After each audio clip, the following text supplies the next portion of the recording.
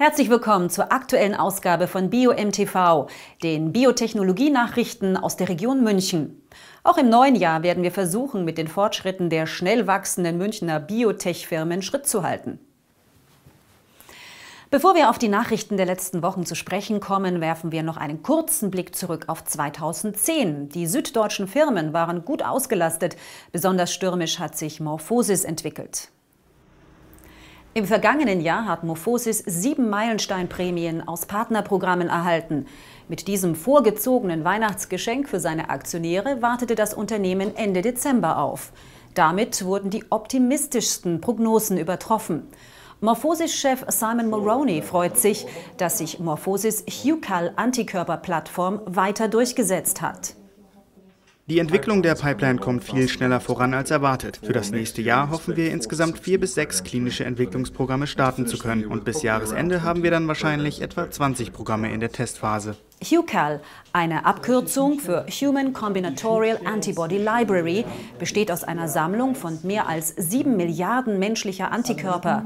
Seit kurzem können diese mit der Slonomics-Technologie noch weiter verbessert werden. Diese vollautomatische Optimierungsplattform erhielt Morphosis durch die Übernahme von Sloaning Biotechnology im Oktober. Im Januar stellte Morphosis den Mitarbeitern des neuen Partners seine Pläne zur Integration der Technologie vor. Sloaning hat die Technologie entwickelt, um Proteindatenbanken aufzubauen. Zu diesem Zweck ohne Frage die beste Technologie der Welt. Dadurch sind wir dann in der Lage, Antikörper viel schneller und effizienter zu optimieren als vorher.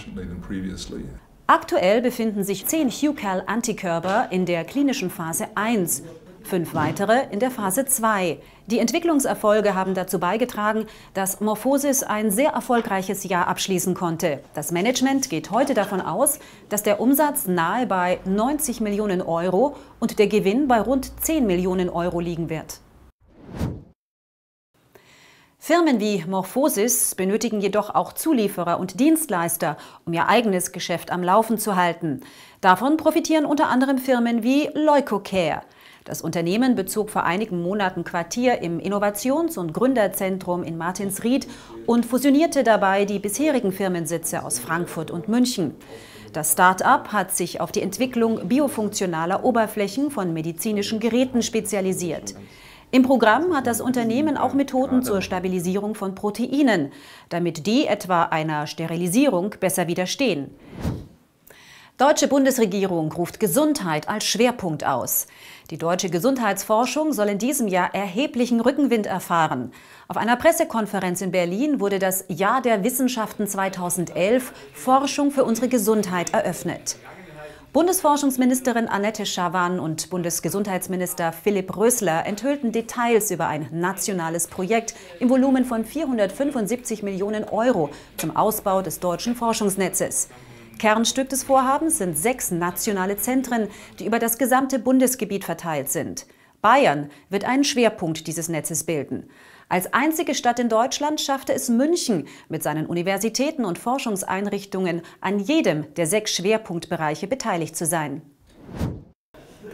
Anfang Januar unterzeichnete die Piris AG einen Forschungsdeal mit Takeda. Der deutsche Spezialist für Proteinwirkstoffe wird mit Hilfe der hauseigenen Antikalin-Technologie neue Wirkstoffe für den japanischen Pharmakonzern entwickeln. Antikaline sind rekombinant hergestellte Lipokaline. Diese Transportproteine binden natürlicherweise an ein großes Spektrum von Molekülen, die sie in Zellen einschleusen, sind aber viel kleiner als Antikörper. Das Unternehmen in Freising prüft einen onkologischen Antikalin-Wirkstoff in Phase 1. Weitere Projekte in der Pipeline befinden sich im präklinischen Stadium.